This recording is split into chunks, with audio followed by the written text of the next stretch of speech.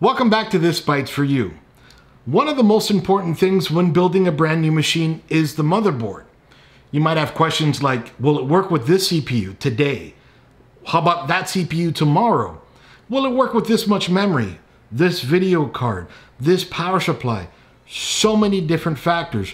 So it's important to select the right motherboard. In the budget build, I think we selected the perfect motherboard. In this video, we're going to be doing an unboxing and a brief overview, kind of brief, of the Asus ROG Strix B550-F Gaming Wi-Fi Edition motherboard. There is so much to cover on this motherboard. Let's get started now. All right, so here she is again, the Asus ROG Strix B550-F Gaming Wi-Fi.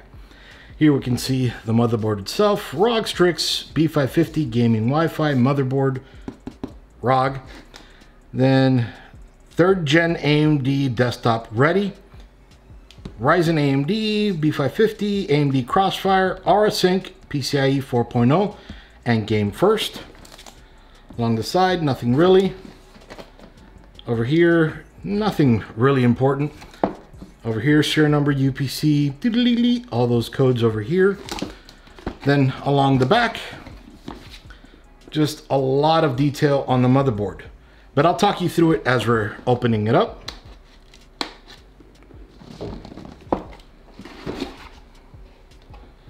I love the way Asus does their packaging. All right, so let's go through these accessories first. We can get to them. All right, so this is the Wi-Fi antenna. Okay, this is a Wi-Fi 6 802.11ax Wi-Fi antenna. And just want to see how long this cable is. Cable's about three feet long. Then the antenna, Asus there. This will connect to the motherboard. And then they have here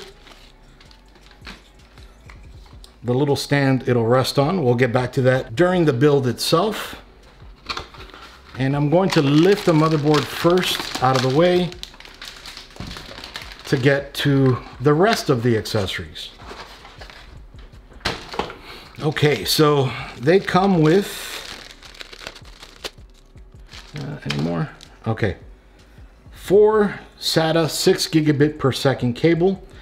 So two of these are perfectly straight and they all have this metal clip to secure it into your motherboard.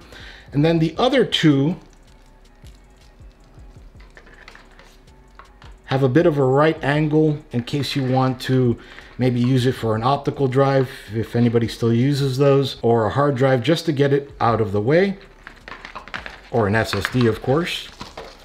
Then we have over here an ARGB extension cable. This is also about three feet long. Okay. Then it looks like here they have ah, the M.2 SSDs, the pads. I'll keep these in the baggie for now, but we will use them in the build video. Then they have the M.2 screws. Looks like they have two screws here. I'll open this up. Okay, you can see that there. They have two screws and then standoffs. And then over here, they have seven zip ties so you can keep your cables all nice and clean. And then, oh, before I get to the manual, this is nice. They have bunch of stickers. One, two, three, four, five, six, seven, eight, nine, 10, 11, 12, 13, 14, 15, 16, 17, 18, 19, 20, 21, 22 cables. Or uh, stickers, sorry. It's kind of nice stickers. And then these are for your cables. So you're properly labeled. You know where the cable goes. Then they have this guy right over here. Thank you for purchasing this ROG Strix product. You've made the choice of champions. To learn more about our passion for gaming and to receive news about the latest ROG innovations and offers, check out Armoury Crate, our vibrant new one-stop information hub on the Microsoft Store. All right. And then they have, oh, I didn't realize they had, but they have a CD with all the drivers, I don't recommend using this unless you don't have access to Wi-Fi or anything because all the drivers here are out of date the minute they're printed and well you also may not have a CD drive. They really should put them on thumb drives. But anyway, then they have here the Asus ROG Strix B550F Gaming Wi-Fi User Guide. So this is, while it is a manual and a lot of us don't like to read manuals, you probably shouldn't, but and very, very important things that they have in here are error codes in case you get any beeps or anything along those lines. They have a QVL, which is more than likely online. That way you can see what memory is compatible with your motherboard. And then they have a ton of other things you want to look out for in case you're having issues with your motherboard.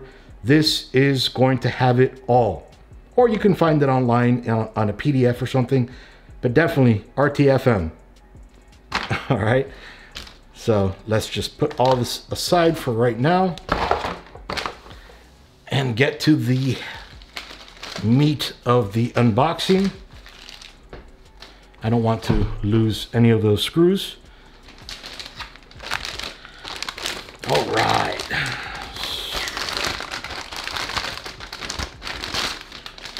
So I went for a budget board. And while it is relatively budget, it's not totally budget. Uh, awesome thing about this board is the IO shield is integrated onto the back. That way you can't forget to put it onto your case. You build everything, oh, looks great. I forgot the IO shield. You gotta take it all apart. You don't have to worry about that anymore. So that is a great feature. All right, so starting off, this is utilizing the AM4 socket for Ryzen 5000, 4000, G series and 3000 series processors. So yes, this will work on current gen CPUs and the CPUs that actually were just released. You may need to update the BIOS, but I'll show you all that in the build video afterwards. It has 12 plus 2 power stages. This is utilizing AMD's B550 chipset. The board supports DigiPlus power control for optimal system performance, efficiency, and stability. We can see along here, there is the 8-pin EPS power and also a 4-pin power connector for the CPU. You don't need to use both, just connect the 8-pin and you'll be good. If you're going to be doing some overclocking, connect the 8-pin and a 4-pin if you have one available.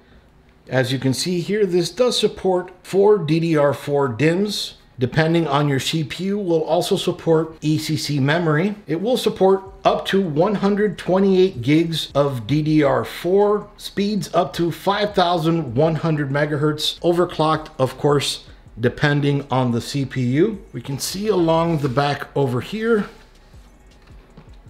All right, so this does support an HDMI 2.1 port, and a 1.2 display port. And let me go ahead and take this off so it is less reflective. All right, so this does have two USB 2.0 ports, four USB 3.2 Gen 1 ports type A, and then a USB 3.2 Gen 2 port type C, two USB 2.0 ports, one of which is the BIOS flashback, as well as the BIOS flashback button right over here utilizing the Intel i225-V 2.5 gigabit per second Ethernet adapter. For audio, they're using ROG Supreme FX audio. You can see here five audio jacks and one optical SPDIF out. And then along here are the Wi-Fi 6 connectors. You can see right down here the Supreme FX chip.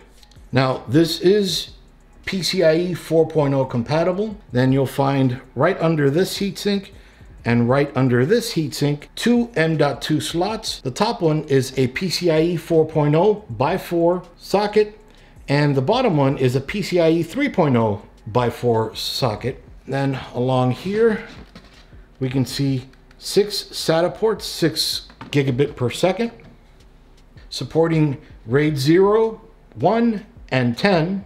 Now, even though maybe not many people use it today, this will support two-way Crossfire X, and it also does include Bluetooth 5.1. Now we can see there are quite a few fan headers.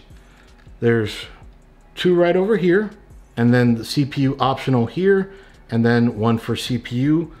One of these is also for the AIO pump or the all-in-one pump, and then another one right down here and right down here. So you have quite a few cooling options on this board. Coming along the bottom of the board, we can see one front panel header, one Thunderbolt header, a 12 volt RGB header, a 5 volt RGB header, another fan header that I showed you earlier, two USB 2.0 headers, a chassis fan header I showed you earlier, and then your front IO header over here, power, reset, all that good stuff there. Along the side of the board, we'll find a USB 3.0 header, as well as the 24-pin ATX connection. Towards the top of the board, we'll find a 12 volt RGB header.